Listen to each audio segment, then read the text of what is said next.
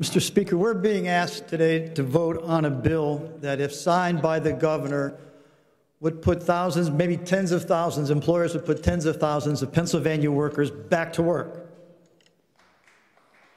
Now,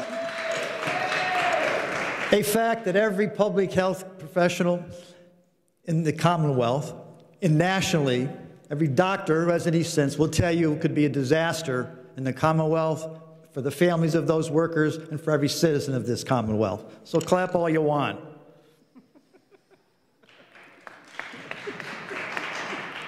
You know, everybody in this room wants to put Pennsylvania workers back to work. We want to restart the economy. That needs to happen, but it needs to happen in an organized way. It needs to happen in a way that makes sense. Probably should be phased in over time, and it needs to be done based on science. On science, right? Not conjecture needs to be based on facts, not wishful thinking. The governor and his health secretary have done a good job with their mitigation strategy. Finally, we are seeing a flattening of the curve. And yet, when we see this happening, every healthcare professional, every public health professional in this country says we've got to stay the course. We've got to make sure we keep people at home. We've got to make sure those sacrifices are continued to be made so we can prevent people from getting sick. We can prevent people from dying. Because make, make it, let's make it clear. We put people back to work. You pass House Bill 613, those thousands and tens of thousands of people are going to go to work, they're going to get sick. Many of them are going to die. Look, this, we have a virus here today, folks, that there's no, there's no treatment. We have a virus here today where there's no vaccine. People are trying to still figure out what it is, what the symptoms are, how they can deal with it, how we can treat it. Yet, we think here in this house that we can put people back to work. We know what's best for them. We know how to protect their health. Folks, we don't. We need to be responsible. We need to open up this economy responsibly with the way we've already discussed.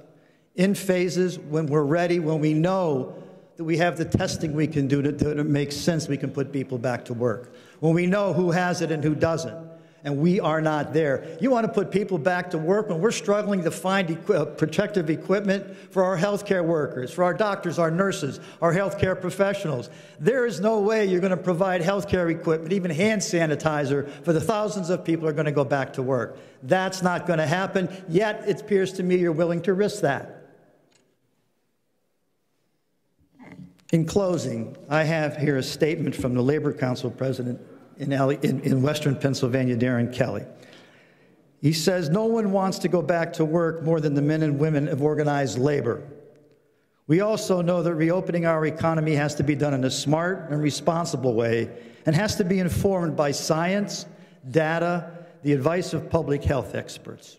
Senate Bill 613 is not smart, it's not responsible, it's not informed by science, it is absolute lunacy. Our members who have been laid off and those who continue to work have made tremendous sacrifices to help flatten the curve, slow the spread of the virus, and prevent our healthcare system from being overwhelmed.